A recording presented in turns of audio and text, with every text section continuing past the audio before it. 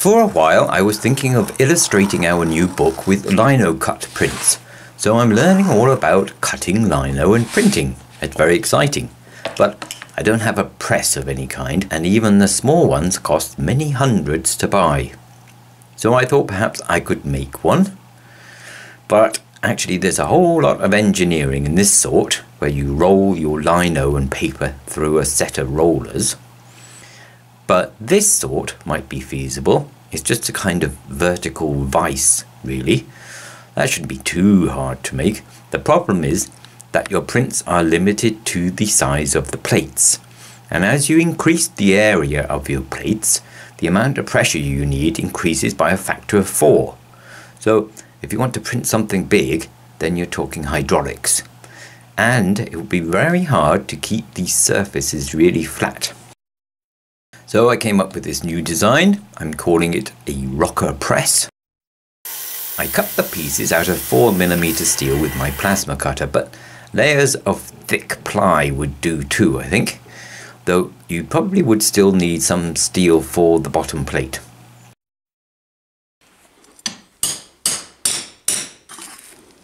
This was my first attempt, and I learned a lot.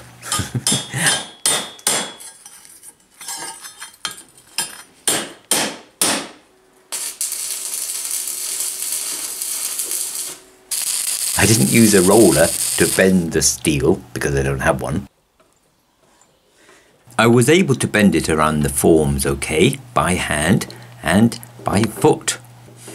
I didn't want to kink it at all so I worked it slowly around the forms till it took the new shape. But as it bent it became slightly concave across its width which obviously means it wouldn't work properly. It was slightly hollow across the top. See the gap in the middle? That shouldn't be there. When I make another one, I will either get the steel rolled properly or else give it more support. So I'd have three or four ribs and not just two. But I was pleased with the rest of it. There's just a tack of weld in the four corners because welding would distort the surface of the roller too.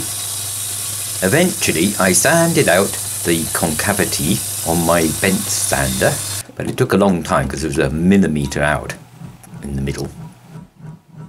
Uh, it's still not perfect, but good enough to try out the principle of this thing.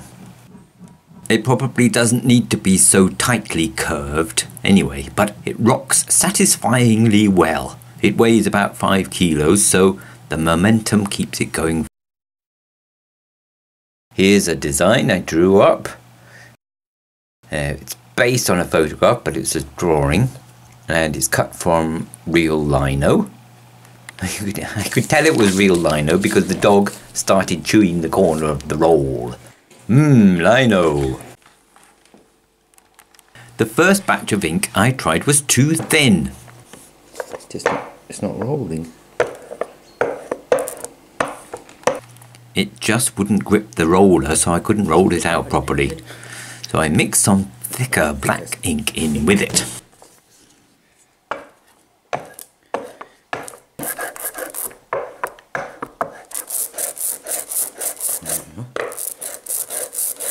Very dark now.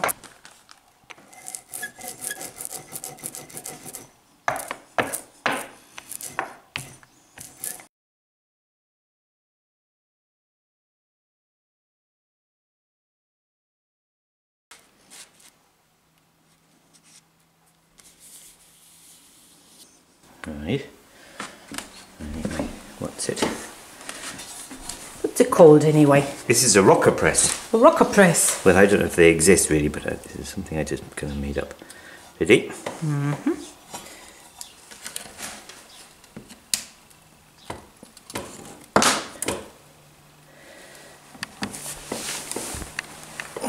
Right. First attempt. pretty good. Yeah, maybe a bit too much ink on that one.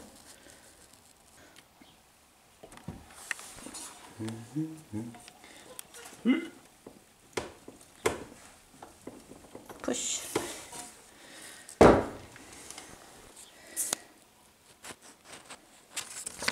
Right.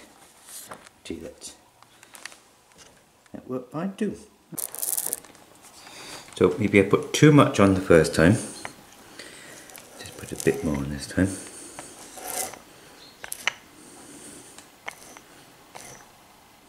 Something like that. Don't know. Where are the experts when I need one? Oh, I'm sure you'll get lots of expert feedback from all those experts out there.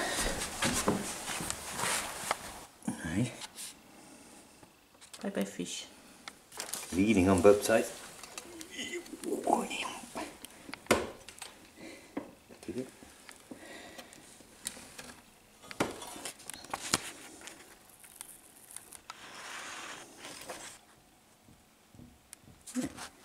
Nice and faded. Now, obviously, this isn't a very big print, but the principle seems to be sound. My plan is to make a much bigger version of this press, one that you can stand on if you need to. At least it would be fun to try it. Any thoughts? Especially from printers?